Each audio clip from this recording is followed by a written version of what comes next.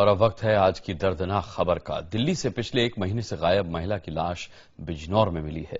हत्यारे ने पैसे के लालच में महिला की जान ले ली। परिवार वालों ने पुलिस में गुमशुदगी की रिपोर्ट भी दर्ज कराई थी लेकिन पुलिस महिला को ढूंढ नहीं पाई और आखिरकार उसकी लाश मिली।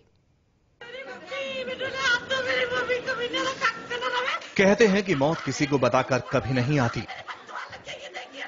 दबे पाँव आती है और इंसान का काम तमाम कर लौट जाती है। लेकिन लालच में अब इंसान ही इंसान को मौत के घाट उतार रहा है।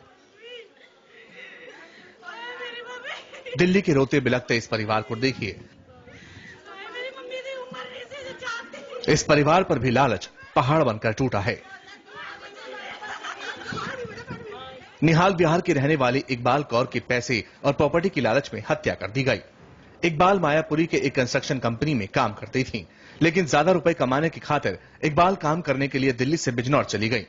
राजमिस्त्री नफीस ने इकबाल को पैसे देने का लालच दिया था। यहीं पर इकबाल के साथ धोखा हुआ। दरअसल नफीस की नज़र इकबाल की प्रॉपर्टी पर थी। दिल्ली के निहाल बिहार के मकान पर नफीस अपना कब्जा करना चाहता था। इकबाल के बिजनौर जाने के कुछ दिन बाद नफीस दिल्ली आया। उसने इकबाल के परिवार वालों को मकान खाली करने की धमकी दी। कहा, इकबाल ने यह मकान उसे बेच दिया है। इधर परिवार वाले लगातार इकबाल को फ़ोन लगा रहे थे, लेकिन उसका मोबाइल फ़ोन स्विच ऑफ़ बता रहा था। इकबाल के बेटे को शक हुआ तो पुलिस में एफआईआर दर्ज कराई। पुलिस ने नफीस और उसके एक साथी को धर दबोचा।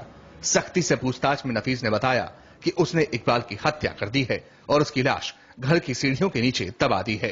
अट्ठाईस तारीख के बाद फ़ोन नहीं आया उनका।